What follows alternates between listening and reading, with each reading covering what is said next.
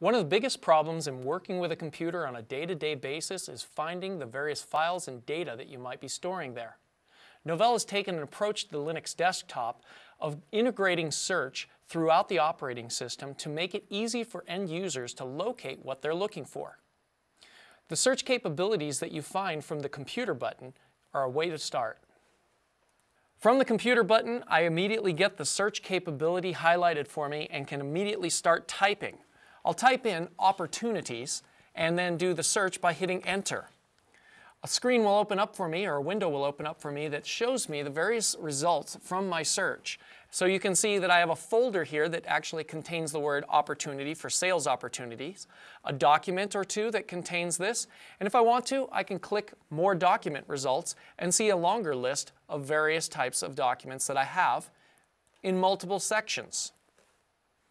I can scroll down and see websites that also contained opportunities for me as well. By clicking on one of the documents that is a result, it will open up the appropriate application for that document and I can immediately begin working. Part of the entire search process has to include more than just documents though. It has to be able to pull up things like appointments and email items. It has to be able to get instant messaging conversations. So for that purpose, let's take another search here and let's look for sales promotion. When we bring up sales promotion inside of our search capabilities here, we see an instant messaging conversation with my friend Guy. I'll double click this and see what Guy had to say to me. Notice how I don't actually have an instant messaging client pulling this up right now, but it's bringing it up in a, in a, reasonable viewer for me so that I can actually see the conversation that I had and with it highlighted for the search terms that I was looking for, even partial elements of the search term, such as the word promotion down here.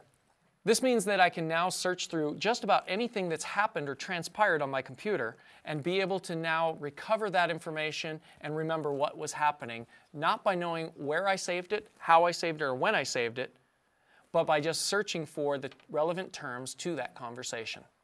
Another part of your personal information space is your ability to communicate and collaborate with other people through things like your email client and your calendars.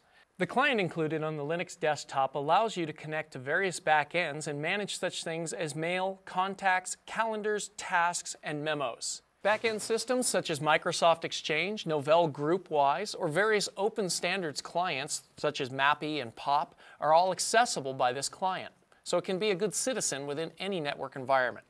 Within the Linux desktop, Novell has also included a multi-protocol instant messaging client so you can connect to various types of backend both on the internet and in the enterprise.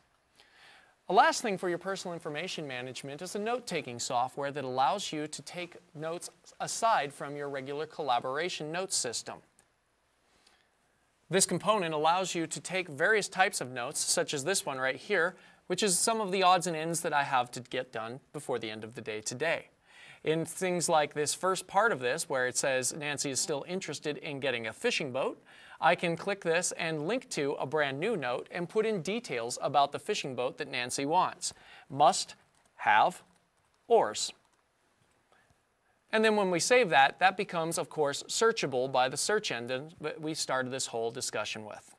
And of course, when I save one of these types of notes or make a new email or anything like that, it becomes part of the entire search environment that we started our whole discussion with.